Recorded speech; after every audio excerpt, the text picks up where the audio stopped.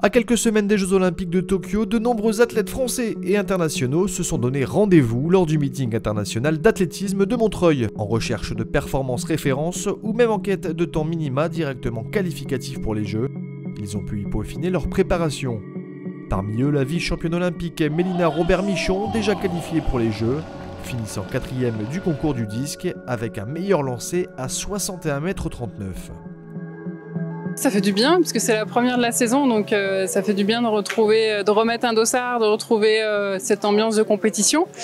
Et euh, la performance 61, on va dire pour une rentrée c'est correct. Après, euh, forcément, je veux toujours euh, toujours plus. ce qui est intéressant, c'est que je fais 61 au premier. Après, voilà, je je manque un petit peu de de et j'essaye un petit peu voilà des choses et je suis pas forcément dans le bon timing. Techniquement, c'est pas c'est pas encore tout en place.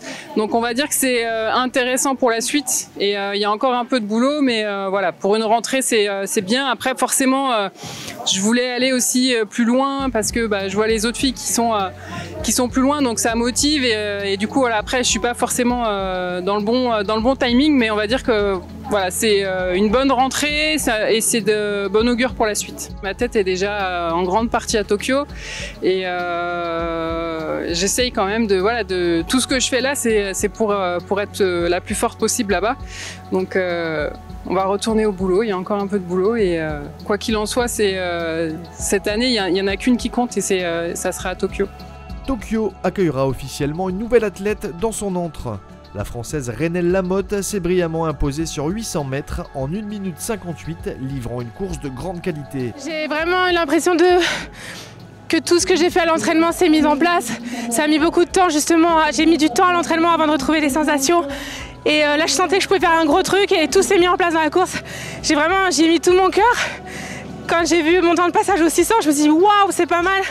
Puis après, je me suis vraiment battue ben, pour mon entraîneur, pour tout le monde, pour toutes les personnes qui, qui m'aident. Donc, euh, je suis contente d'avoir refait cette course à mes proches, à tout le monde. Et pour moi aussi, c'est juste un soulagement énorme d'être qualifiée, d'avoir fait les minima pour les Jeux Olympiques.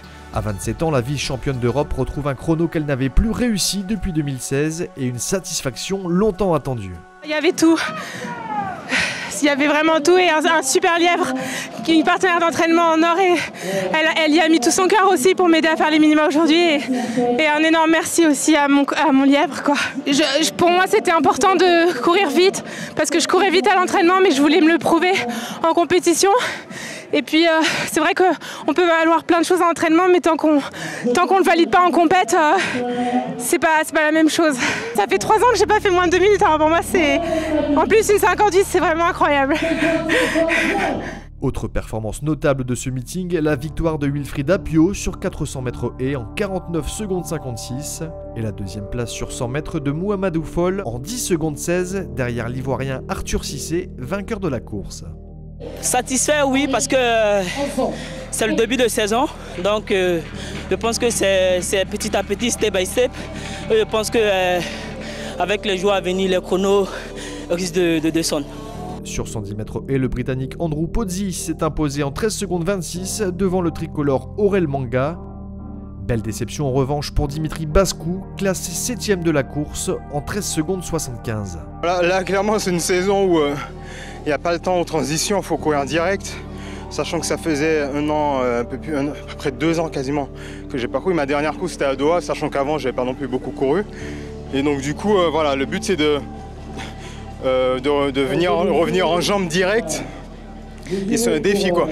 J'ai jamais été dans une configuration comme ça. On a toujours eu au moins deux mois pour, pour performer. Et puis surtout, là, on aurait vraiment eu besoin de, de ces deux mois-là après l'arrêt, l'arrêt qui été très long. En tout cas, pour moi, c'était le cas. Et, euh, mais c'est pas. Voilà, hein, c'est une configuration comme une autre. Et euh, c'est parce que euh, voilà, ça, la, saison, la prépa fait pour, est faite pour que ça monte en puissance jusqu'à la fin. Et, c'est ce qui va se passer. J'ai l'impression de repartir à. Pas à zéro, mais pas loin. Il y a des choses que, que je redécouvre à chaque fois au niveau des sensations. Et c'est tout nouveau, mais l'expérience, j'ai l'expérience derrière et ça, me servira à arriver euh, là où il faut en forme. Mais s'il y a une performance à retenir de ce meeting, c'est celle du burkinabé Hugues Fabrice Zango au triple saut. Avec un essai valide à 17,67 m, il réalise la meilleure performance mondiale de l'année, faisant de lui le favori du rendez-vous olympique à venir. A noter également la qualification olympique du français Melvin Raffin grâce à un excellent saut à 17,17 m, nouveau record personnel en plein air, à seulement un petit centimètre de son record personnel en salle. Je suis satisfait, satisfait parce que bon, ça reste quand même des minima euh, olympiques que ça fait un moment que je les attends quand même. Il euh, faut savoir que j'ai raté quand même euh, ma Coupe d'Europe. j'ai fait un mauvais concours. Donc j'ai voulu jouer le coup pour venir à Montreuil et en plus il y avait des bonnes conditions. Donc ouais voilà, que du positif, je suis très content. De quoi lancer avec brio la dernière ligne droite menant aux Jeux Olympiques de Tokyo et d'être dans les starting blocks pour cet événement tant attendu.